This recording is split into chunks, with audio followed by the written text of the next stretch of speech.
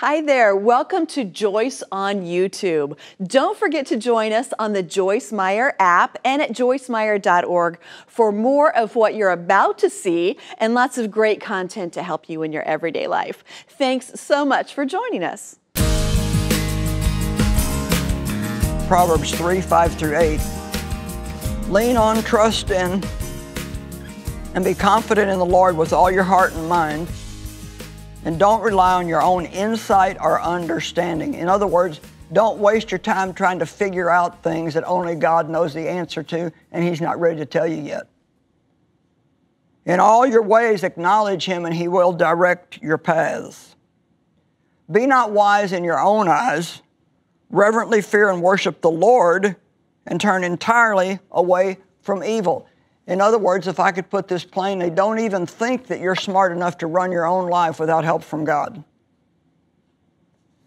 It'll be health to your nerves and sinews and marrow and moistening to your bones. In other words, the less we try to reason things out, the healthier we're going to be. The mind of the flesh is sense and reason without the Holy Spirit. So we can sit around and we can reason and reason and think and think and finally come up with something, but that doesn't mean that what we came up with is correct. Romans 8, 6 in the Amplified Bible says, Now the mind of the flesh, which is sense and reason without the Holy Spirit, is death. That means it's not going to make you happy, it's going to make you miserable. But the mind of the Spirit is life and peace, both now and forever. Are you living out of your mind without searching for the wisdom and the agreement of the Holy Spirit? Paul prayed for wisdom to rise up and enlighten their minds, that they would have true depth of understanding. You know, Adam and Eve were spirit led when they were first put in the garden. They weren't led by their body, by their mind, by their own will, or by their emotions. They were spirit led. But when they chose sin, everything was turned upside down. And then all the natural elements, all their five senses took over, and God's will was pushed to the background. Our body is supposed to just be a vehicle for our spirit to work through here in the earth. You can't be in the earth without a body. And it's a vehicle for our spirit man to work through. But if the spirit man doesn't have control of the soul, then he can't, get through our mind, our will, and our emotions actually for his glory to be seen in the earth. The fall of man changed God's original intention for us, but we can go back to it. You know, there's a wonderful scripture in Ecclesiastes, and I love this. Let me ask you a question. What kind of condition is your life in? Do you have joy? Do you have peace? Do you feel like you're fulfilling a purpose in your life, or are you discontent and unhappy most of the time? Unhappy with your job, unhappy with your family, unhappy with where you live, how much do you give thanks to God compared to how much you complain? These are questions that I have to ask myself on a regular basis. I think it's good to examine yourself, not unto condemnation, but to just look at where am I at compared to the Word of God. And if there's things in your life that you don't like, they can be fixed pretty quick by simply obeying God. And Solomon wrote the book of Ecclesiastes and he was a man who tried everything to be happy. I mean, he said, I did it all. I built myself houses and pools, and I had wives, and I, any, anything he wanted, he had it. And none of it really made him happy. And in the 12th chapter, the very last verse in Ecclesiastes, I love this from the Amplified Bible. He says, All has been heard. The end of the matter is this Fear God, revere and worship Him, knowing that He is, and keep His commandments. For this is, now stick with me, this is the whole duty of man,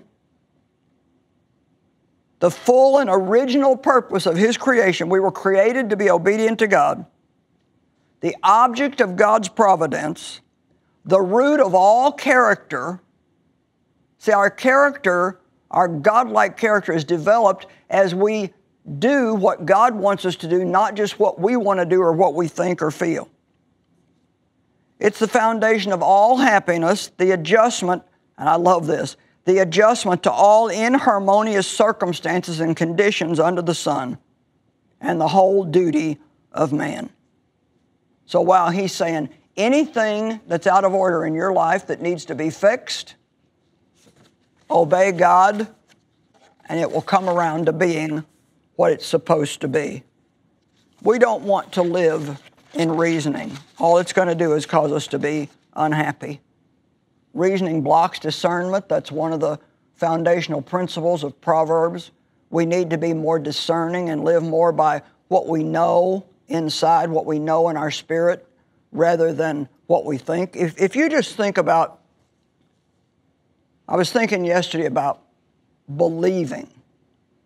You know, what if you get just a little bit quiet, turn your brain off for a minute, you can find out what you believe.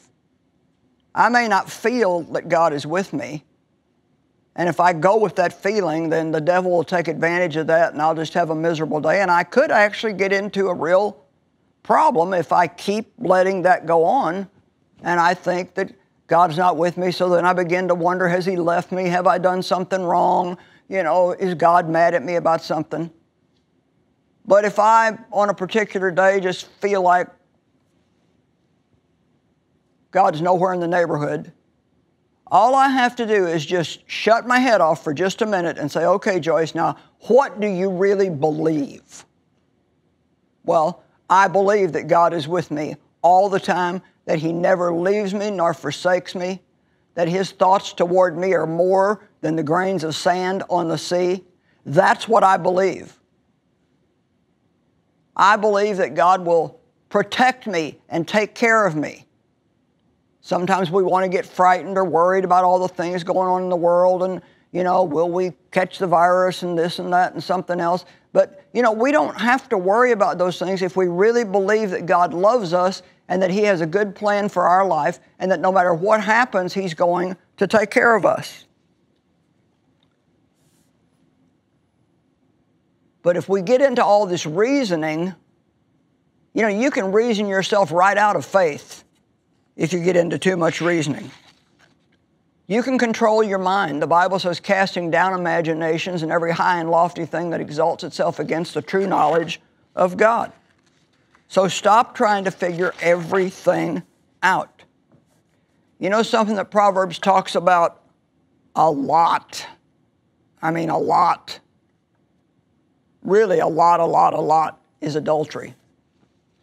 So I'm just going to step out here bravely for a few minutes and talk to you about adultery. Our fornication would go along with that, which is sex before marriage, which today, I don't know, there's the weirdest notion in the world that you should just live together before you get married to see if it's going to work. Well, that may be the notion of the world, but it's not what God's Word says. And, you know, we can't just do whatever's popular in the world and ever really be in God's will. And there's so much cheating in marriages. And if you read Proverbs chapter 5, and I think it's Proverbs chapter 7, I mean, the Bible, Proverbs says a lot about adultery. And it talks about how it will steal your life and it will minister nothing but death to you. And so, what you need to do is, if you first feel a temptation, is run from that. Let's just say that you work in an office and you're an attractive young woman, but you've got a, a family, a husband, and a couple of kids, and I don't know, maybe things have not been going great between you and your husband, or maybe he doesn't pay enough attention to you, or whatever the case might be. And so you're already at a disadvantage because you're open to temptation and Satan knows that. Well, suppose some nice young man at the office begins to bring you coffee and a donut every morning. Well, to be honest, about the second or third morning, the alarm bells should go off and you should say, This is not right. But then maybe one day he notices that you don't seem to be just right, so he asks you what's wrong, and you've had a hard time with your husband, so you decide to tell him all about it. Well, that's a second mistake. If you need to talk to somebody about your marriage problems, don't go to another single man or another married man. Go to a female friend or go to your spiritual leader. And so then maybe he asked you to go to lunch so you can talk about your problems. And before you know it, you're in big, big, big trouble. I remember when a man in church that was a good friend of my husband's, and him and his wife were good friends of ours, he said to me one time when nobody was around, I wish my wife was as good looking as you are. And I mean, right away, I came back with a compliment about how good looking his wife was, and I walked away from him and I went straight and told my husband what he said. And Dave and I agreed that we would pray about it, and if it ever happened again, Dave would talk to him. But you, you gotta, you can't play around with that kind of stuff. You can't play around with fire and not get burnt. And I'm, you know, I'm not trying to heap condemnation on anybody. I'm trying to keep you out of trouble. I don't want you to get in trouble. I want you to get out of trouble. And Proverbs is just full of all this wonderful advice. There's so many things that the Bible says about the mouth in Proverbs. I mean, it, it, I think it's one of the key subjects in Proverbs is things about the mouth. How to treat your neighbor. Talks a lot about relationships. The Bible says, be good to your neighbors. Treat them good, love them, help them, do things for them. You might say, well, they're not even nice neighbors. Well, maybe you could turn them into nice neighbors if you treat them the way that God treats you. And you know, I need all this just as much as you do. I keep saying you, you, you, but it's for me as well as for you. Let me say again anybody who follows all the principles in the book of Proverbs will have an absolutely jaw dropping, amazingly wonderful life. Want to hear more from Joyce on this topic? We've got you covered. Visit us in the Joyce Meyer app or at joycemeyer.org today.